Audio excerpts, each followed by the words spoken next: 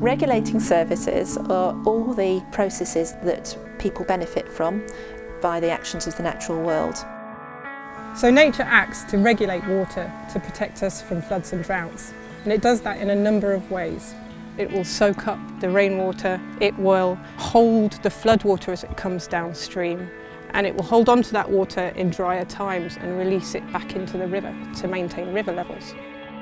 My name is Mark Barnett. I'm a catchment coordinator for the Environment Agency.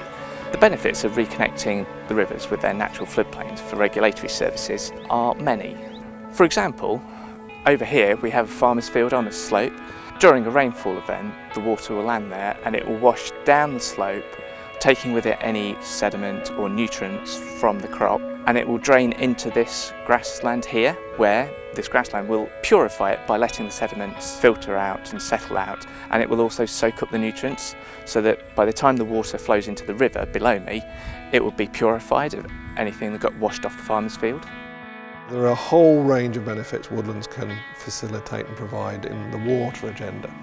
They are helping protect the river banks. They're providing shade over watercourses in the summer, so you're not getting situations where fish are suffering from very high temperatures. Key thing with trees and woodland is, as they grow, they absorb carbon dioxide from the atmosphere and convert it into solid carbon in the wood.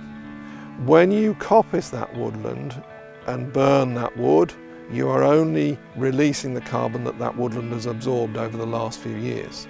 And that's the key thing, that one doesn't harvest more than the wood is growing at any given time.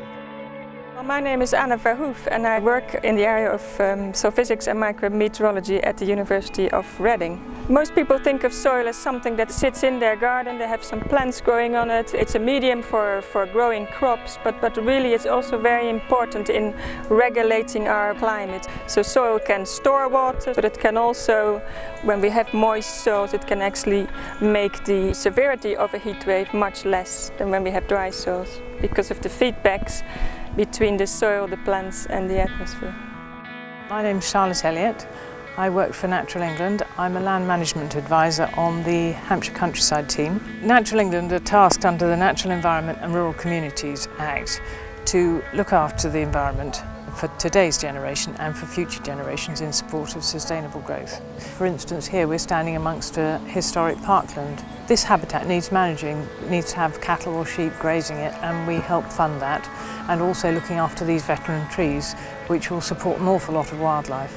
Another aspect would be conversion from arable land into more natural habitat. So there's a field that used to grow potatoes here and that's now a wet grassland which will obviously offer services in terms of flood storage but also be home for a myriad of different wildlife species.